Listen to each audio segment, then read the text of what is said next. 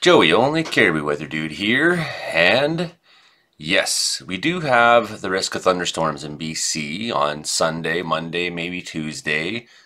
I'm not going to say a whole lot about that, but Penticton, Kelowna, Kamloops, and areas, you may see some isolated activity. I don't think we'll see severe yet. I'll have more on that, though, if it does break out, of course, and stay tuned to Interior Weather and Wilderness Watchers, our group on Facebook. That's where we'll keep talking. Holy fuck! I felt the fucking shockwave from that. It's that time of year we should review lightning safety a little bit. You have noticed I did not shave tonight because Tampa Bay has been eliminated by the Leafs. I'm pretty happy, so now I can talk about lightning and how much I love lightning again because the lightning are no longer my enemies. Well, it can be your enemy.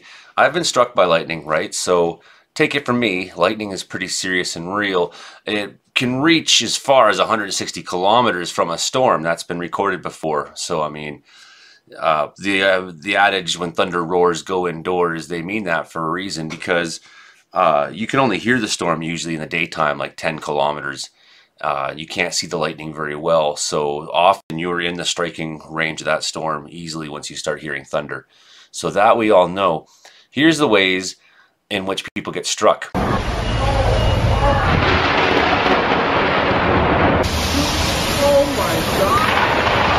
Now, counterintuitively, this guy here, he's enduring the direct strike. He's out in the middle of the field. There's nothing around him. And uh, probably the only thing he's doing wrong is he's standing up. This is probably the safest place to be. If you look at the next four ways people get killed by lightning, they all involve being near taller objects, trees, and things like that. So being out in the open is the least likely way to get hit. However, if you get hit straight in the head like that, the chance of being killed is very high. Oh my god! Are you kidding me? so a person struck by lightning becomes part of the main discharge channel. Most often, direct strikes occur to victims who are in open areas. They're not as common as the other ways people are struck by lightning, but they're potentially the most deadly. In most direct strikes, a portion of the current moves along and just over the skin surface. It's called a flashover and a portion of the current moves through the body, usually through the cardiovascular and nervous system. The heat produced when lightning moves over the skin can produce burns, but the current moving through the body is of the greatest concern. Well, the ability to survive any lightning strike is related to immediate medical attention. The amount of current moving through the body is also a factor. So you have the positive charges down here, and they've come up through Guy, and the negative charges come down and they met in the middle, and now he is dead. Not right. Oh, oh my! Here we have the side flash, side splash, it might be called. So this is example of why you don't hang around trees. And you see, this guy's uh, thinks he's safe going in the trees, but he's not, right? So it occurs when lightning strikes a taller object near the victim, and a portion of the current jumps from the taller victim to the to the victim. In, a, in essence, the person acts as a short circuit for some of the energy in the lightning discharge. Side flashes occur when the victim is within a foot or two of the object that is struck. Most often side flashes have taken shelter under a tree to avoid rain or hail. And so you got to know what a storm looks like when it's developing and not be out in it when it's ready.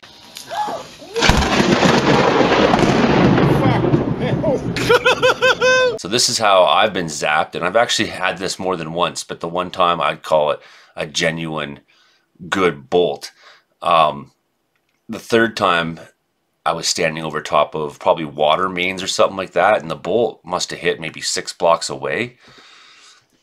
I don't know. It hit down the hill, but it charges all. So I mean, just be careful, right? It was. It felt like a cattle fence. This works, and this is how I see like cattle getting sometimes killed. 20, 30, 40 cattle getting knocked down. Why sometimes an entire uh, soccer team is killed or injured. Uh, there was that case at a U.S. Army base in Colorado, something 25 years ago maybe, where uh, I don't remember how when it was.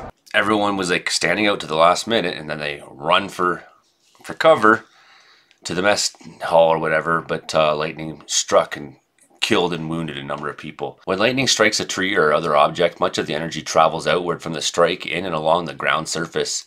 This is known as the ground current. Anyone outside near a lightning strike is potentially the victim of ground current. In addition, ground currents can travel in garage floors with, with conductive materials. Because the ground current affects a much larger area than the other causes of lightning casualties, the ground current causes the most lightning deaths and injuries. Ground current also kills many farm animals. Typically, the lightning strike enters the body at the contact point closest to the lightning strike, travels through the cardiovascular system and nervous system, and exits the body furthest at the contact point furthest from the lightning. The greater the distance between the contact points, the greater the potential for death or serious injury. Because farm animals have a relatively large body span, ground currents from a nearby lightning strike is often fatal to them. Oh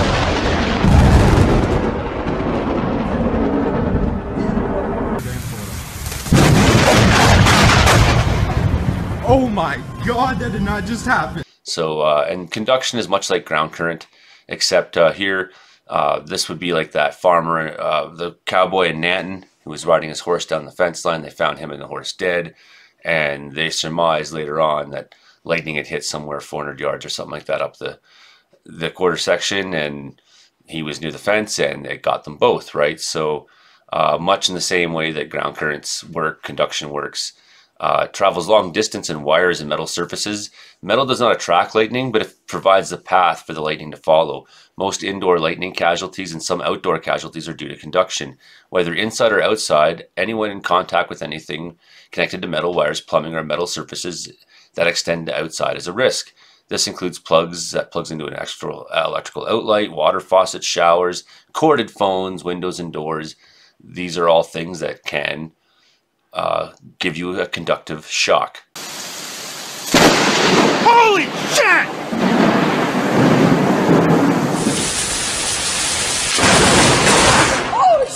Not as common as streamers, and I mean, this is just unfortunate, guys. Just oops. Well, not as common as other types of lightning injuries, people caught in streamers are at risk of being killed. They develop as the downward moving leader approaches the ground. Typically, only one of the streamers makes contact with the leader as it approaches the ground and provides the path for a bright return stroke. However, when the main channel discharges, so do all the streamers in the area. If a person is part of one of these streamers, they could be killed or injured, even though the lightning channel was not completed between the cloud and the upward streamer. It says see Robert's story, but I clicked on it and it's nothing there.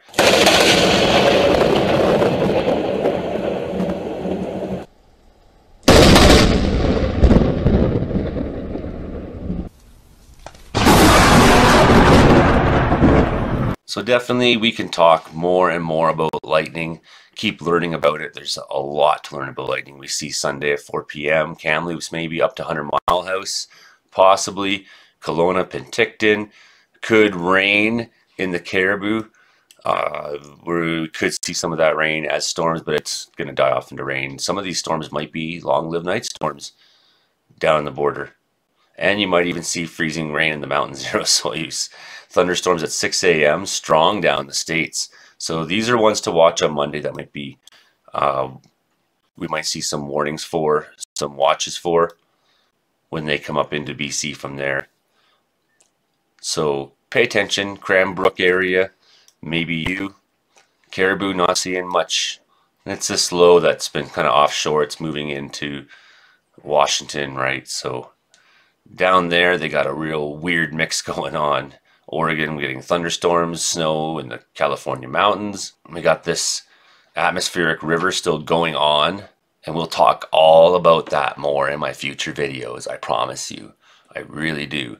We'll have a full week weather show tomorrow, okay? So be smart out there, be safe, and we'll talk to you soon. Don't get struck by lightning. You want to get that nice photograph, but it ain't always worth it. Please subscribe, share, like, and keep coming on by because I'm not such a bad guy. Okay, bye.